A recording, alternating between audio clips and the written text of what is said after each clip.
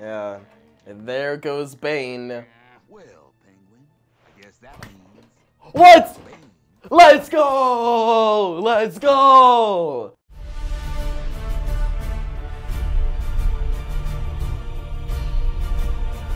What's up DC Nation? Welcome back to another video on the Batman, the 2004 animated series. Today I'm checking out season 4, episode 2, titled Team Penguin. So Penguin's gonna be in this episode, but what I'm really expecting to happen is to see the Bat family out in action. Batman, Robin, and Batgirl. We already got the dynamic duo established last episode. Did a great job kicking off the season and establishing Robin. We got a great Robin origin. And yeah, I already like the dynamic between Batman and Robin in this show. I'm excited to see Robin and this version of Batgirl interact. So guys, this season so far, off to a great start. Can it keep up the momentum? We'll see. But before we get to this episode, make sure you follow my socials, Twitter, TikTok, and Instagram. They all have the same username, lowercase DC underscore enthusiast one. Also, go check out my website, dcenthusiast.com, where you can watch all my full episode reactions, including the one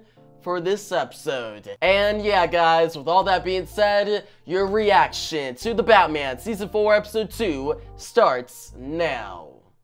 greatest villains to do the job we hmm. been able to do alone. Okay. The Bat Jerk's wings permanently. Alright, so like, I actually like that premise. The idea of Penguin gathering a group of Batman's rogues to fight him. Team Penguin. It's simple.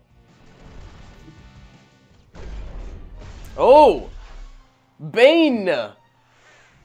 What? Yo! Okay. Dude, that's even better. I was talking about Killer Croc, who we haven't seen in like two seasons, but Bane, we haven't seen since the beginning of season one, four seasons. Which is crazy. Like, I've been waiting for Bane to return. Like, he was awesome in season season one, episode three, Tremors. His first appearance, and I thought it was gonna be his last, but nah. Bane is back, baby. Alright, and he's gonna be a part of Penguin's team? Dude. Well, that basically tells me there'll be no Killer Croc, because there can't be two brutes on Penguin's team, or maybe there can. Dude, if Killer Croc now shows up and we have Bane and Killer Croc teaming up, or maybe they fight each other, oh my gosh, that'd be so hype. That would be hype. That would get me so excited, man. Alright, let's see what happens here. Dog, Batgirl's here. Dude, what is Batgirl gonna do to Bane? Like, like, no offense to Batgirl, but I feel like Bane will just, you know, one punch, uh, breaks her neck. Gasbane. Hmm, uh, good luck. I hope she does good with this. Hmm.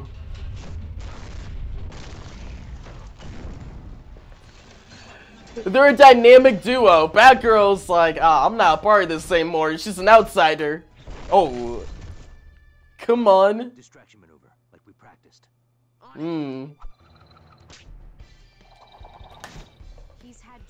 Yeah, dude, I was just about to say, like, she's gonna get on Batman because she's like, hey, you took it took you so long to trust me and just let me in and give me the Bat Wave, and you didn't train me, but now you train this kid. He knows maneuvers and he goes in your formation, and he's got a bow staff. I didn't get a bow staff. I had to create my own weapons. Like, I kind of feel for Batgirl here. It's kind of messed up, but at the same time, the dynamic duo. Oh my gosh, how they entered and how they're working together, it's the best team up ever. The best team up in comics, Batman and Robin. The best character to sidekick, master to sidekick, right? Mentor to sidekick, that's the better way to say it. He's got moves.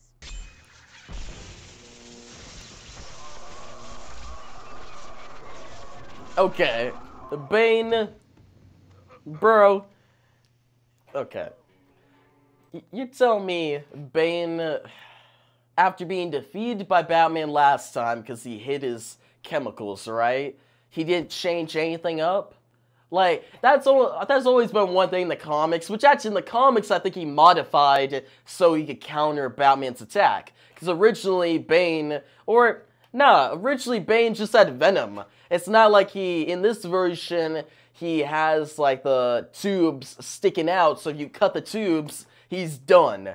Where originally he doesn't have that, he's not as weak. Where this Bane, uh, he's kind of there's opportunity for weakness. Like he's way weaker than his comic counterpart, and the fact that he went back out into Gotham to commit crimes with the tubes still hanging out, still open for Batman to take out with one hit. Like, come on.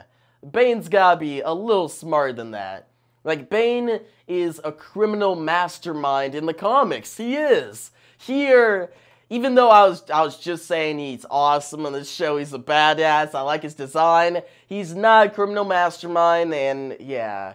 He, this version of Bane has his pros and his cons, but I'm still happy to see him back, at least for this one scene. At, well, he did get an invitation from Penguin, so we'll see more, more of him in this episode, hopefully.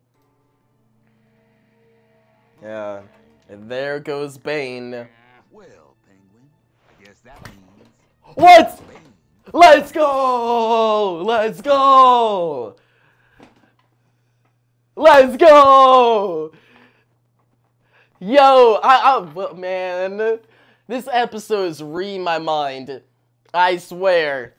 I w- okay, so Bane's out of the equation, and I was, ah, man, that kind of sucks because Bane is cool, but he's out, and I was just saying if Killer Croc shows up, I'll get hyped, and we can maybe have Killer Croc and Bane, but it looks like Bane's officially out, and now Killer Croc is about to be like, alright, you got the one the one brute you're trying to get is in captivity. I'm another brute. I'm another strong man. Get me on your team. Penguin and Killer Croc. And it sounds like he's still voiced by Ron Perlman. Ron Perlman is back. Dude, and he looks so cool. Dude, this episode is the return for so many villains Alright, We had Bane, Killer Croc, and Penguin. He's always showing up. Like, it's like his he he shows up as much as the Joker in this show. They're like the two characters that just show up constantly, which which is fine because this version of Penguin is amazing. But dude, that's exciting. This episode, I'm loving it, man. Uh, all right, all right, let's keep watching. Now I'm curious. Okay, we got Penguin, Killer Croc. What other villains are going to come back? Could we get? Okay, let me think. There, there's not gonna be no like Riddler. I know Riddler is not gonna show up. He he he definitely will not. If he does, if he does, dude, if Riddler shows up, that will be hype. If Joker shows up, that will be exciting. And uh, hmm, I'm trying to think of like minor villains. What was the one? Well, wasn't it like a Ragman? Or not Ragman, but there's like another guy who could like move his body parts in weird ways, I think, who was in season two. Rags to riches. Yeah, it was Ragman. Maybe he'll be in this. Maybe. Actually, I'm gonna stop theorizing. Let's just see what Team Penguin will be. Is out. Hmm. This kind of thing is exactly why I've been saying we need to team up, Croc. Yeah. In that case, we better fire up our recruitment drive. I concur with Fire. Firefly. But one can't simply pull a super criminal. Alright, this episode's reading my mind, bro. What the heck is going on? Bro! What's the. What wasn't. Oh my gosh. Dude, we got Penguin, Killer Croc, Firefly, and I was just talking about this guy, Ragman. That is his name, right? Ragman. D- this episode is reading my mind, I swear. I, I was like, where is Killer Croc? I, I didn't know that Bane would come back though, so that was a surprise. But and Killer Croc was still a surprise. Ragman, eh, well, eh, he is still a surprise. But just the fact I was thinking about them, man, who else could show up? Nah, okay, I- am gonna stop thinking it because I'm gonna ruin for ruin it for myself. I'm gonna be thinking the villains of how many like minor villains there have been, and just factor them into this equation, and they'll probably show up, or or maybe not. So far, we got a stellar lineup of villains. Out of a hat. Hmm. Ragdoll. Ragdoll, not Ragman, Ragdoll. Hmm, Wait, Killer Moth. Heard the legendary king recruiting. Killer Moth. This guy, this guy. Look at his oh. Mmm. Dude, I love this dynamic. Like, Ron Perlman kills it, bro. Like, just how Killer Croc talks. The, this is probably my favorite version of Killer Croc, even more than BTAS. I'm, go, I'm going to say that. And then Ragdoll, charismatic, awesome character. This version of Firefly, my favorite version of Firefly um, so far. Like, I think he's, was he in BTAS? I, I don't remember, honestly. And the fact that I don't remember, yeah, I'm gonna go, this is my favorite version of Firefly. And then Penguin's cool, but Killer Moth? And this is his first appearance, right? Yeah, this is Killer Moth's uh, first appearance, and his design. he looks so stupid. Like, Killer Moth is a joke character. There has been some stories where uh, writers take his character more seriously and ends up being compelling, but a lot of times he's just a parody, and he's a funny character. He adds to the story a lot. nice wings. Hmm. Can you? Now, now, give the man a chance. Yeah, give the man a chance. Let him cook.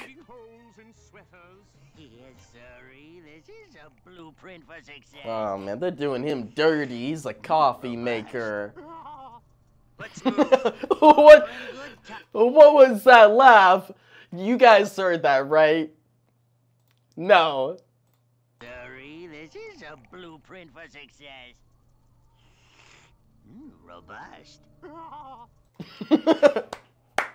oh my gosh. Dude, we, we gotta replay that one more time. That is the most. What kind of laugh is that? You hear Killer Moth's laugh? Mm, robust. I'm gonna keep playing that. One more time. Let's move. Robust. Let's move.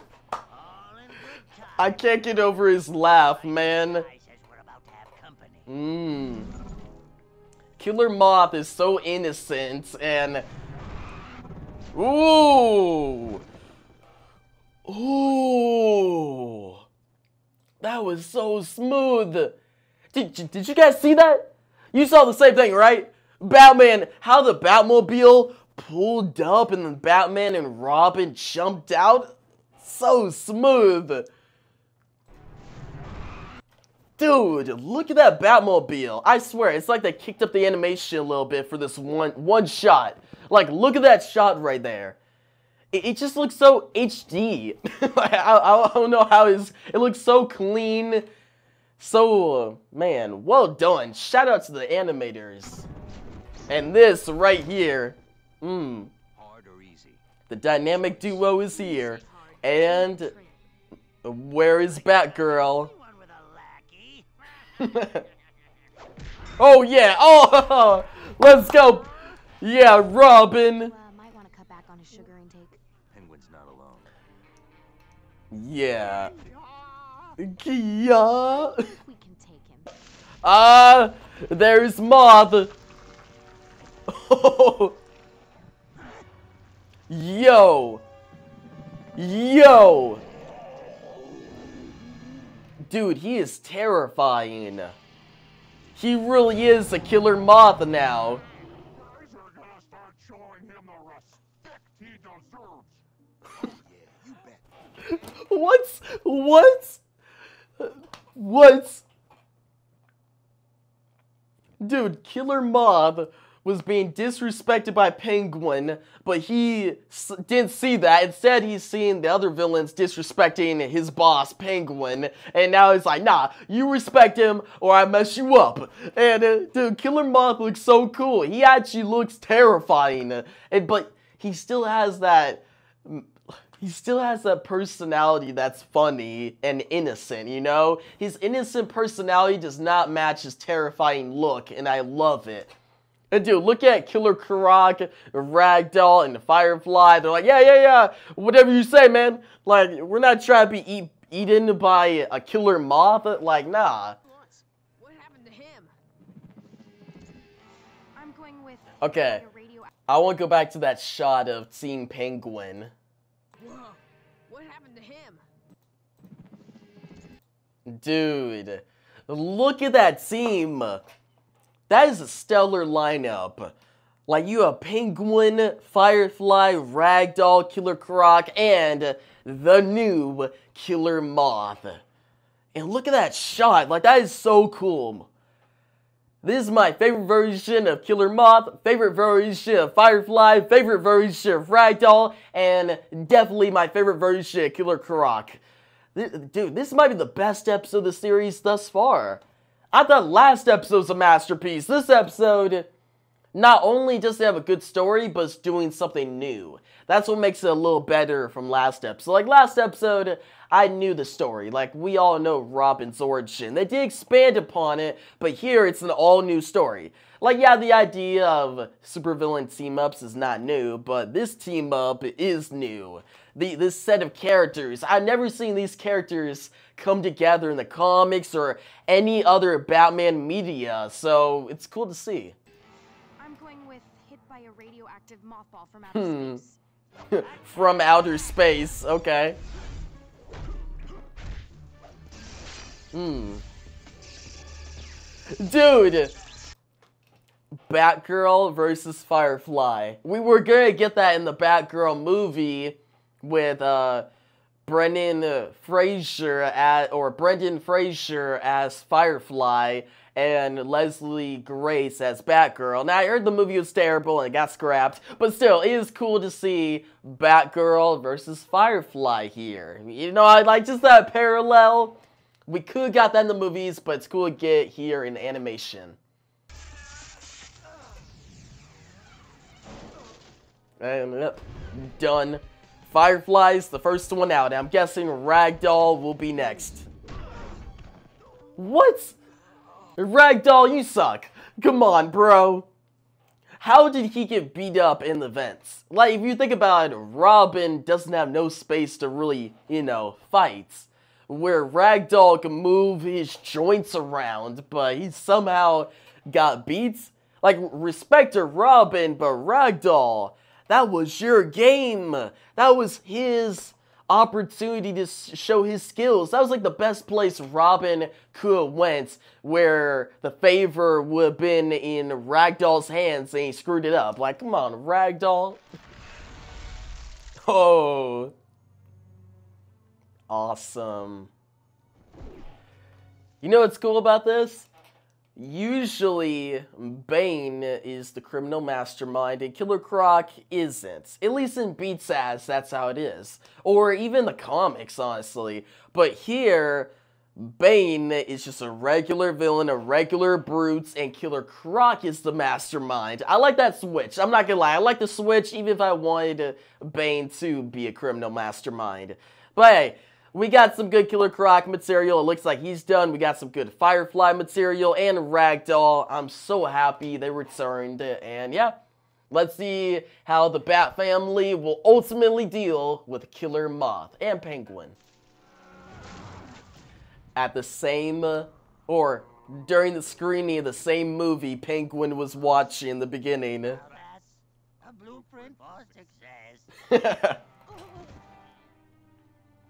hmm, a bat smile. You'll be 40 before you get to drive the Batmobile. At least I'll Mm. get to drive it.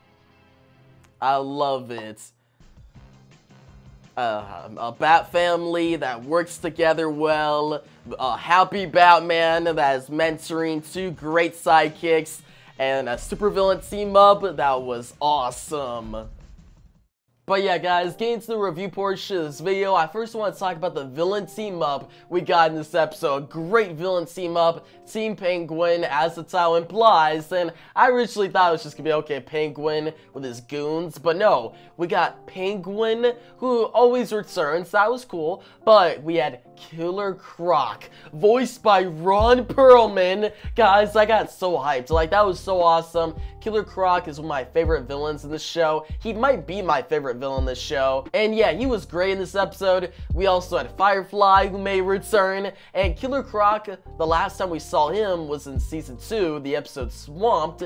Firefly, the last time we saw him was in season 2 as well, Fire and Ice, and in that episode it was Firefly and Mr. Freeze. Mr. Freeze did not make a return this episode, but he did get mentioned. Also, Joker got mentioned. Now, other than Killer Croc and Firefly, we had Ragdoll. He returned. We haven't seen him since season 2 as well in the episode Rags to Riches. And then our new character, Killer Moth. And I'll get to him. I'm gonna have a special uh, part of this review portion just for him. But yeah, it was a great villain team up. All the returning villains got great moments and it got me excited. And what's cool about this is Killer Moth and Ragdoll are voiced by the same voice actor, and Killer Croc, voiced by Ron Perlman, well, guess what? Ron Perlman also voiced another villain this episode, and that villain being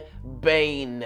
That gets to my next topic, the return of Bane. Okay, so Bane was originally voiced by a different voice actor in his debut episode way back in season 1, episode 3, titled Traction. I originally thought it was Tremors, but no, the episode title was Traction. And yeah, Bane has been absent ever since. I honestly thought that was it, like he wasn't going to return, but to my surprise, he made a big return in the beginning of this episode. He wasn't on Team Penguin though, but he still had an awesome return in the beginning of the episode, and it got to show off the Bat family, well, not working together well, kind of working badly together. And we'll get to the Bat family soon, but Bane returning and him being voiced by Ron Perlman this time was a nice touch. I like Ron Perlman voicing the big strong strongmen, the big brutes on the show, Bane and Killer Croc. Now to my next topic, the last villain that I want to talk about, the big MVP of this episode,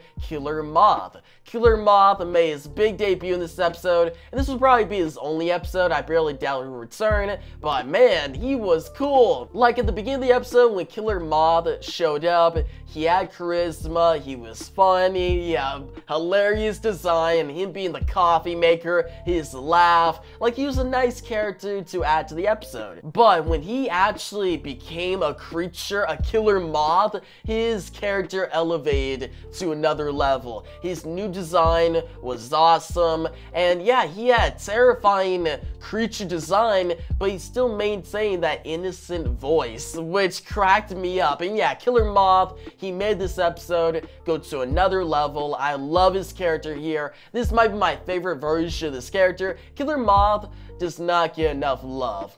He's a hilarious character. He can be used in compelling ways sometimes. And this episode kind of did that. Like, he was actually a compelling character while also being hilarious, which that is a perfect balance. Now to my next topic, the Bat Family developments. The last episode established a dynamic duo, Batman Robin. Last season established Batman Batgirl, and this episode established the Bat Family, Batman, Robin, and Batgirl. And yeah, just seeing Batman train both of them and Batgirl finally being welcomed into the Batcave finding out Bruce Wayne is Batman, and even better, Batgirl and Robin's interactions were great. Now, I do hope we get another episode of just them teaming up, like that has a lot of potential, and yeah, just, just seeing their interactions in this episode shows me that this show will nail the Robin and Batgirl dynamic. Not their relationship, they're too young here, but their dynamic is hilarious. Their back and forth dialogue, how they're always trying to outsmart or just be better than each other in front of Batman. And that final scene in this episode where they take off on their grappling hooks in the Gotham City and Batman smiles. He's like, I did it. They're doing well. And he takes off with them. It was nice. It's just cool to see how far this Batman and now this Bat family has gone. Like so much development since season one. Now to my final topic in this video, could this season, season 4, be the best season yet? Like, this is the strongest start to uh, the Batman season so far. Like, season 1 started out strong, it was good. Season 2 started out strong. Season 3, yeah, I would say all this season started out well, but this season, like, come on, two episodes that are masterpieces, like, that's gonna be hard to keep up the momentum, but I bet they could do it. If this season keeps up this masterpiece quality, it, man, it, it might be better than season two. Like, I think season two is the best season so far. It was an awesome season, and season three wasn't better than it. Like, season three was a good season, but it had flaws. Where this season, come on, we got the Bat family, great villains, a great development of Batman's character, and there's so much potential here. Like, this is gonna be the best season. I'm gonna say it right now this season, season four, will be better than season two. At least I hope. Like, that's that's some hard competition. It's hard to be better than season two. That was just such a great season, but I have some high hopes. And yeah, you guys already know. I'm giving this episode Team Penguin a 10 out of 10. It's my favorite episode of this series so far. I'm gonna say that. I thought last episode was so good, and there's certain other episodes like The Laughing Bat where Joker became Batman Season 2 that rivals this episode. But yeah, this episode, Team Penguin, is one of, if not the best episode in the entire series. It deserves the 10 out of 10, the masterpiece rating. But yeah, guys, some of your thoughts on this episode down below. If you liked the video, give it a thumbs up. New channel, make sure to subscribe. Hit that notification bell so you don't miss out on my next The Batman reaction and review. And yeah, guys, thanks for watching, and peace out.